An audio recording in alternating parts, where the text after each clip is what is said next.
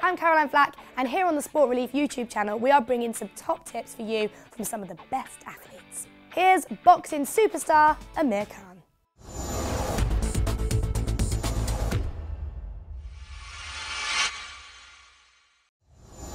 My tips on a hook are keep your right hand up.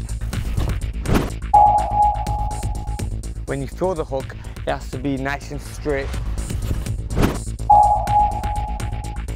Plus, your hand has to be flat and your knuckle has to be flat when you hit the surface. If it's not flat, then you're going to hurt your knuckle or you're going to hurt your wrist. So that's how you throw, throw a hook. I hope you enjoyed those tips and learnt a lot. Join the fun and games. Enter the Sainsbury's Sport Relief Games now. Find out how you can get involved at sportrelief.com.